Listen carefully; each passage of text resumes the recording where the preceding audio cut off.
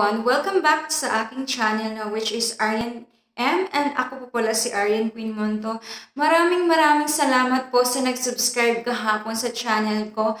At sa mga hindi pa po nag-subscribe, please subscribe my channel and don't forget to click the bell button para po maging updated kayo sa susunod na mga videos na i-upload ko. For today's video, ang isi-share ko sa inyo is yung lotion na ginamit ko na which is na-search ko lang din siya through TikTok. Nag-trending siya sa TikTok. Napaka-effective niya. But before that, please subscribe my channel again and don't forget again to click the bell button below.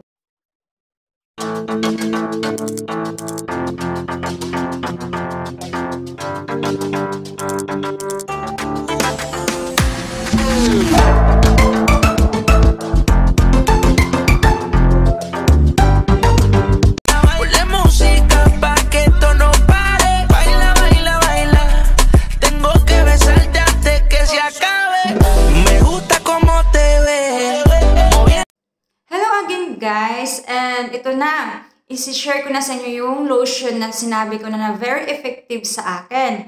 So, actually po, hindi po yan isang product lang. Bali, lima sila na product na pinaghalo-halo ko sa empty container. Siguro, kung sa Pilipinas, budgetan nyo lang po ng mga 350 pesos or to 400. Pero solid naman siya guys kasi nga pang 2 months siya bago siya maubos kasi nga pag haluin mo na lahat itong products na to, marami siya. So ito na, ipapakita ko na sa inyo. Yung unang product na hinalo ko. Una is yung Cream 21. Ayan po. Try nyo lang po i-search sa Watson or sa Mercury, sa Robinson, sa mga mall. Parang mayroon dyan sa Pilipinas. Next is yung Navia cream. Yan. Alam ko na mayroon din to sa Pilipinas.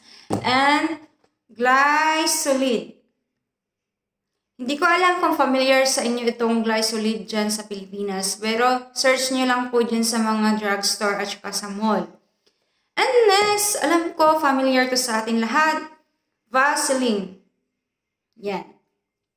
Next is lotion ko, pero pwede nyo gamitin yung mga lotion na hiyang sa inyo. Pwede nyo po siyang gamitin panghalo doon sa apat na product na yon. So, sa akin kasi is, yung lotion ko is uh, abun or abuni. I don't know kung ano ang tamang pagbasa nito. Basta search nyo lang sa Google kung ano ang tamang pagbasa ng lotion nito. So, ang ginawa ko, hinati ko lang siya. Kumuha ako ng empty container, hinalo ko sila lahat, tapos um, kinip ko yung kalahati din kasi nga, kung maubos na yung una kong pinaghahalo, magagamit ko na naman siya next. So, yun lang, mga one week kong ginamit, nakikita ko na sobrang lambot ng balat ko, napakakinis po. And, yan lang po. Maraming maraming salamat sa pag uh, watch sa video ko and I hope na makakatulong din itong video ko. God bless po!